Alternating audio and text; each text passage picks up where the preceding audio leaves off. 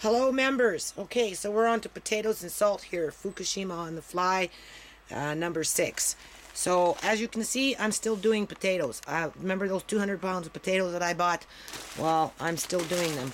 I'm down to my last maybe 50 pounds, and then I, I came across uh, some. Uh, what these these ones are russet potatoes, and I'm, I've already started to to uh, kind of put them away here. I'm what I'm doing is I'm bagging them up, and um, in in a brown paper bag first, and then eventually what I plan on doing is probably for the ones that are going to go into long-term storage, maybe for a year or two or whatever. I'm going to take this out of the bag and then I'm going to wrap it up in tinfoil and then I'm going to seal it with one of those sealers that suck out the air. Um, I'm not using any um, any of those uh, oxygen packs, partly because I don't know where to find them, and uh, you know this is just getting a little bit too much here for me to be spending spending. So this this stuff is going downstairs. This is this is rice that I bought in the duration of the last seven months. So for some reason, the Japan nuclear reactors really blow their tops. I have an independent food source that uh, my family can survive on for at least a year, maybe two if they stretch it out. And uh, I've got rice everywhere, but I think what we're going to do is we're going to start moving a lot of this stuff downstairs. I've already got everybody prepared um, to start making plans to start moving this down because it's getting in my, it's really getting on my nerves. so um, I came across some food safe buckets so this is good. Obviously, the rubber Rubbermaid bins these are not food safe, so um, you know I may line this with newspaper and then put the food back in for long-term storage. You know, for those people that want to. Uh, you know, think about you know plastic leaching and that type of thing. But uh, I did come across some some food grade buckets that are are quite nice, and so I'm starting to fill them up a little bit. I'm going to be taking what I have in there, and I have a few more of these buckets out on my porch.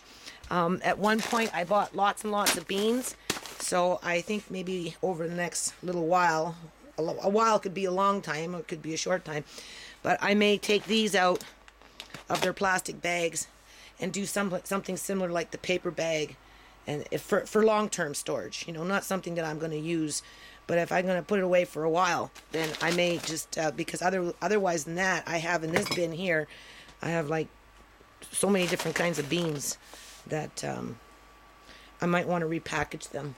So um, i stocked up on a lot of rice I got rice there, rice there, rice there. I got rice in the bin down there. That that's all rice. I got a bag of rice over there, and there's some different types of rice, like this kind of rice. You know, buy them on sale, right? So cheaper to buy them on sale. I think regular price for this alone by itself was something like um, um, maybe 14 bucks. On sale, you might get it anywhere from nine to 11 bucks, depending on the brand. So, you know, when I'd find them on sale, I'd buy quite a few. This is a new crop from, I can't remember where, Taiwan, I think. So uh, when I was in the cash register line, the lady was saying, "Oh, I don't get it from Taiwan. I get it from um, um, another part of the um, what was it? I can't remember the name of the country. It wasn't Taiwan. Let's just see. Let's pull up. This is product of yeah. This one's product of Taiwan, and this I like the way this was packaged, the way I bought it from the store, because this has the oxygen pack and it's nicely sealed.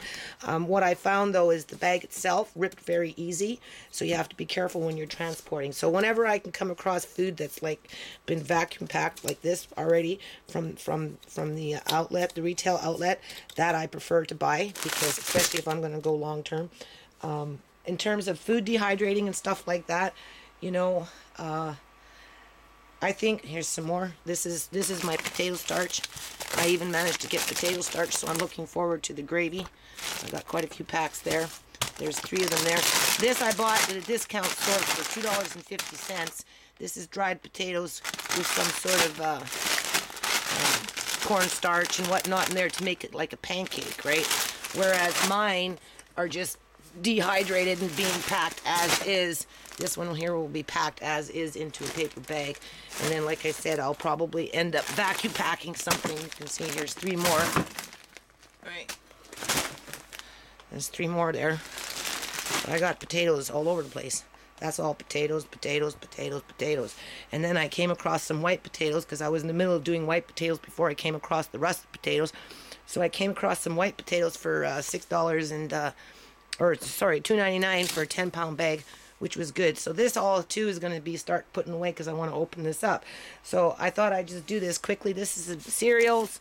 You know, this one here is a ground flaxseed. Things like this, you know, easy to store right i got my sugars in that one little fancier sugars i'm trying to you know maybe bring in uh, get away from the glucose try and get away into the glucose so you know buy organic you know so at some point maybe i'll mix the organic the organic brown sugar in with the blueberries or with the uh, blackberries over here.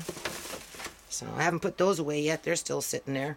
So so anyway fukushima on the fly um, you know, when you try and solve one problem, you end up creating another problem, and I certainly did create myself a problem here. So it's time to take the problem and kind of put it away off to the side. And uh, in the event of something really bad happening, my family has food to uh, sustain itself on. You know, I'm a little little shy on the water water storage yet. Haven't quite figured that one out.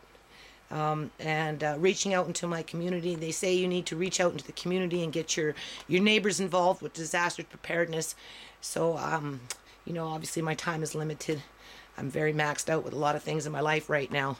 So, uh, for the neighbors on YouTube, you know, if you're not ready for any form of disaster, whether it's for uh, uh, an earthquake or, you know, something like that, or in, in this case, you know, a nuclear fallout that uh, has happened to some degree and is continuing to happen to some degree and could get worse you know in all probability there's a possibility of it getting worse. So if you haven't started preparing for that i highly recommend that uh, that you should do so.